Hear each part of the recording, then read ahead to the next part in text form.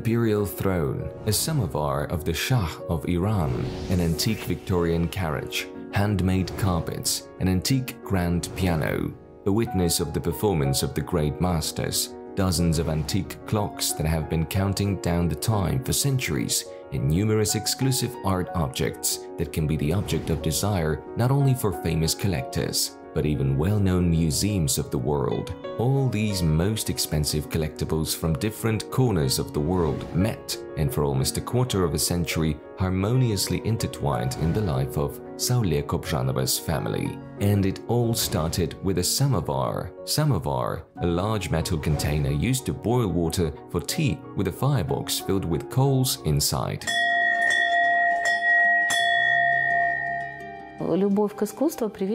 Love for art was instilled in me early on during childhood thanks to my parents. My sister graduated from Repin Academy of Arts. She studied in St. Petersburg, and I used to visit her quite often during those distant Soviet times. Each time I was mesmerized by the abundance of cultural heritage showcased in St. Petersburg. We went to all the museums, attended all the exhibitions. Apparently, that was the time when my craving for art came to light. Later on, I graduated from the Department of Graphic Arts. As for the story of samovars, it all began rather matter of factly. One day, my father brought his mom's samovar from Kostanay, where he is from originally. It's an absolutely wonderful samovar. It's not here, it always stands in my dad's room, always in the most honorable place. It's his mother's samovar, my grandmother's, whom I didn't get to know in person, unfortunately. It's the only memory that was left of her. It is a classic jar samovar with medals. My dad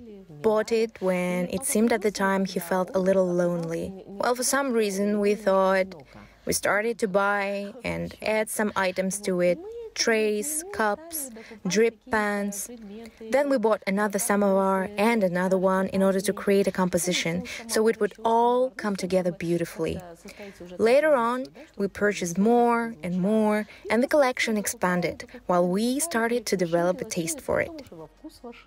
With each newly acquired samovar, another curious story gracefully entered their abode. While studying antiques, for a brief moment, Saule's family became witnesses of someone's relationships, traditions, and customs of distant countries.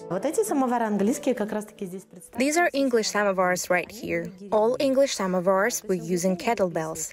They didn't use charcoal samovars because they took care of their tablecloths. Kettlebell samovars worked the following way the water was poured into the samovar, a kettlebell was heated and then placed in a special pipe to maintain the temperature. These metals come from suppliers to the imperial court. It was Batash. Actually, there were two of them, Batashev and Shamarin. Because of the exceptional quality of their work, they got the right to place the Russian Empire coat of arms on their samovars. Sometimes at exhibitions, they received medals which they placed on their products. Here's a marvelous Shamarin samovar made for the Shah of Persia. It says right here, such abundance of medals, you see? All samovars are of unique shape. Apparently this one was commissioned. The one you're recording right now, you can see that it has bone handles. The handle grips are made from ivory. The samovar is called Persian because of its shape. This is a lovely vase. The samovar here is quite unique. It's got pig feet. You can see the resemblance in the shape. And here is a Frege samovar. Now I want to draw your attention to this interesting fact. In samovar industry, same as in the car industry, there are samovars made exclusively for the royal family. Some of the samovars here were quite expensive and as a rule distributed among the noble houses. But there were some pieces that were created exclusively for the aristocracy because they were luxurious. One of such factories was the company belonging to the Henneberg brothers. Their samovar is displayed here. You see, it has a monogram testifying its belonging to an aristocratic family. See, it has feet in the form of lion's paws. It's covered in such abundance of rich elements, lavishly decorated with branches and garlands, all of which indicate power and luxury. Let's say it's a Rolls Royce. Like a Rolls Royce is well considered among cars, this Henneberg samovar is also highly regarded among samovars. I wanted to show you the highlight of our collection. I was absolutely shocked when I purchased this particular samovar. It's our Kazakh samovar, the original one. You can witness the same kind of Kumgan samovar in the paintings of Kasteev and Khludov, where they are depicted right beside the yurt. Среди, скажем так, самоваров.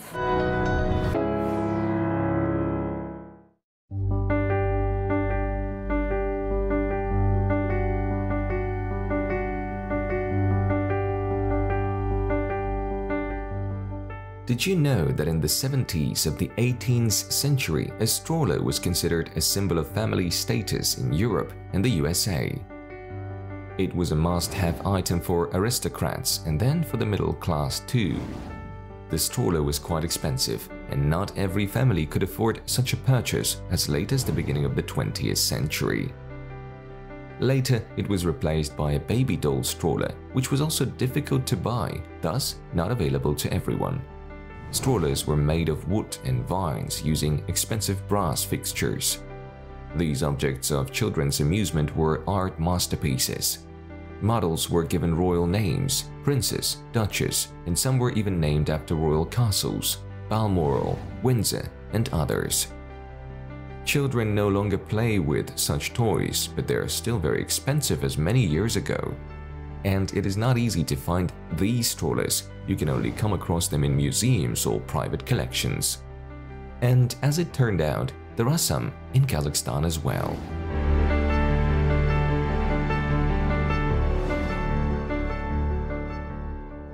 Покупались, приобретались они по всей Европе.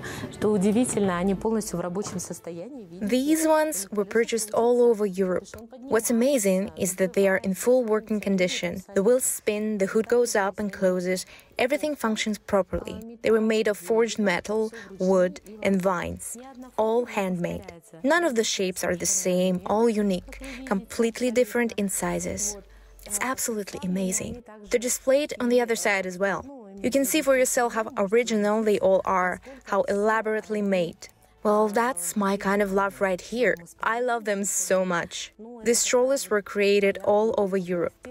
They're available for purchase both in Europe and in the UK. I even have them with the original mattresses. You can see how lovely they are and all in working condition. My daughter adored them. She always used to roll them around. Now she's eight years old. Well, as long as she was little, she used to be interested in strollers and always played with these ones. They are of very different sizes, different modifications, but none of them look similar because they're all handmade. One day, I bought just one piece. Then I liked it so much that it went on and on. So here they are, look, in various shapes and forms. Three wheeled strollers, tiny strollers, whatever kind you want. Walking through Saule's house, you sometimes forget that you're not in a museum. Samovars and baby strollers are harmoniously live next to each other in one room. From there, we get to the office where Saule usually performs her duties of her main work. She is a lawyer, and she works on cases sitting at this unique table, which may have once belonged to a Chinese emperor. We go further on, into the hall, then into the living room. Look, this is a chair from the throne room. That's the king and queen. This is exactly what it is the throne room, furniture that came from a castle, and all of it is in front of a 19th century painting. The king and queen are depicted here, as you can see. It's a pair of furniture pieces. Perfect feng shui. Almost nothing resembles any house we are used to living in today. But Saule and her family can't imagine their life any other way. Here, every evening they light candles in ancient bronze chandeliers, brew a delicious drink in a porcelain teapot made by the hands of a master in the century before last, and the old grand piano quietly shares its unique sounds harmoniously intertwined with the rhythms of the hands of a hundred clocks. Saule brought them from different countries, as well as books. Her library include eight volumes of the collection of the famous 1829 traveler, Brian,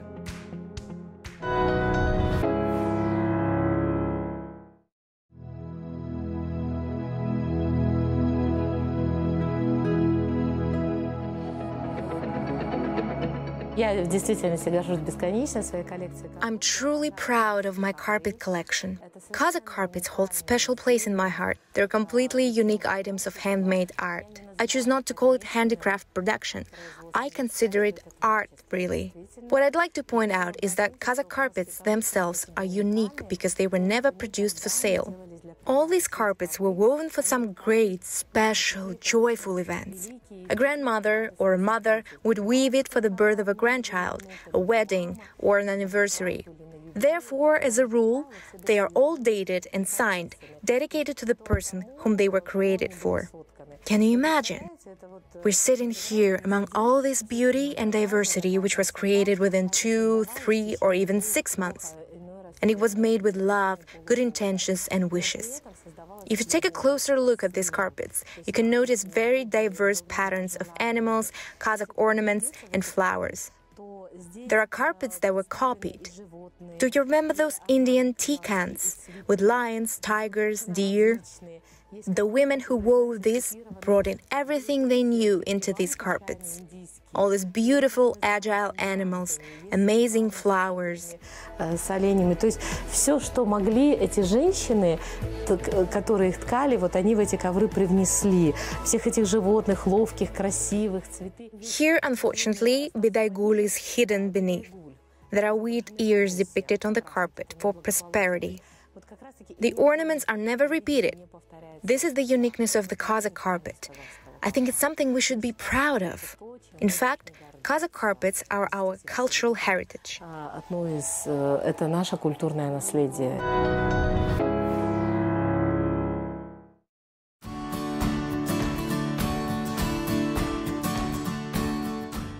Every object in Saule's house is not just a work of art, but a real mute witness to the years gone by, to the grand and small events of a certain country, to the traditions and values of a certain family. And it is an important fact that every object in this house, despite the distance in time, has found its own way to Saule's house. I sense these kind of things. To be honest, I didn't buy what I didn't want. I mean, I always bought things only from good hands. If it was Europe, it was from a good household, not a bankrupt one. I did not buy things that were associated with difficult situations. For example, some antiques were taken from families because of their debts. I didn't wish to buy such items. It's not for me. I considered some pieces that were, let's say, sold because an owner of some European castle decided to turn it into a hotel and sell the furniture. By the way, it was a common practice some years ago. Then you're welcome. I'm definitely buying it. But if it has bad history of debts, bankruptcy, and misfortunes, then no. Like I said, that's the thing about guns. I don't collect guns because they were used for their intended purpose, however beautiful they might be. Guns are often a real work of art, but they are not my thing. What's important for me is the so called energy of the item. It must be pleasant. It must serve well and function properly. I don't like broken things. When I buy something, I don't restore it. Everything I have is in pristine condition. I can demonstrate these items and share their stories. There are many things I can show. I think that must be my mission because I preserved them. То есть, ну, я считаю, это и есть миссия моя. Я же их сохранила.